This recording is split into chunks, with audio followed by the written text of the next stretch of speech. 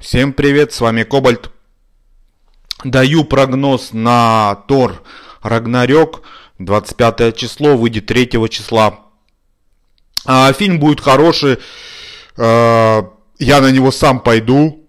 А, всем рекомендую сходить. Но изначально я не хотел на него идти, но мне придется на него идти. Почему? Ну, потому что это будет э, как бы предыстория Мстителей, которые выйдут в 2018 году. Это раз. То есть, а, как бы подведет черту к, э, к фильму Мстители, да, который выйдет вот буквально в 2018 году и будет один из самых лучших фильмов этого года, 2018, следующего года. А, вот. А почему я там долго раздумывал, почему я ну, как бы не хотел на него идти, потом захотел на него идти. Ну, во-первых, а, режиссер не малоизвестный режиссер, там сценаристы, сценаристы, операторы все те же самые, но и, ну, те, которые мы Мстители снимали, и те, которые Тора снимали первых, вторых, те, которые Халка, ну, понятно, да, там от Marvel, да, студии. А режиссер как бы новый, э, за плечами мало проектов у него. Ну, вот, допустим, у него есть там мультик Мона, э, такой не очень мультик получился. Э, и новозеландского он происхождения. Поэтому, как бы, вот э, смущает этот режиссер. Вот. Ну, а так, э, в принципе, меня больше ничего не смущало по этому фильму.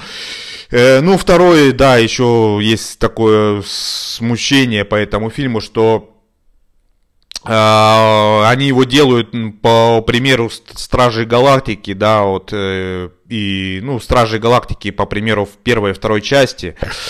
Вот, то есть такой вот с какими-то элементами комедии, с элементами юмора, не знаю, поможет это фильму или нет. Вот, мы посмотрим. Ну, Стражи Галактики, я не знаю, мне кажется, не помогло.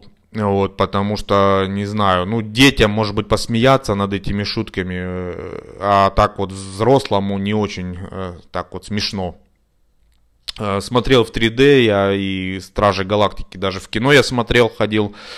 Ну, не знаю, посмотрим. А, не знаю, обойдет он пиратов, э, трансформеров. А, в этом году тоже, я их считаю, не очень такие успешные проекты. И даже Планета обезьян тоже не очень такой успешный был проект. Недавно в 3D посмотрел. А, анимация обезьян, да, сделана хорошо, но сам фильм, как и первая, как и вторая, ну, первая самая лучшая была, вторая уже не очень там и третья тоже не очень. Вот, поэтому посмотрим. А, обещают, почему пойду, потому что обещают, э, во-первых, самый лучший Тор. Ну, посмотрим. Мне первая часть вот, а, больше всего понравилась. Вторая была, мне кажется, больше провальной. Посмотрим.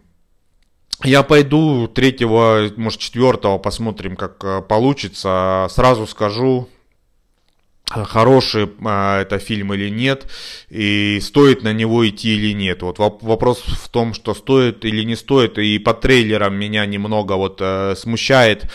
Ну и вот э, еще хотелось бы заметить, что э, женщина, героя, которая играет э, ну, отрицательного персонажа, э, Кейт Бланшет, да, там в главных ролях будет, э, вот, э, она вот против Тора как бы будет ему составлять какую-то конкуренцию на, ну, на экране, да.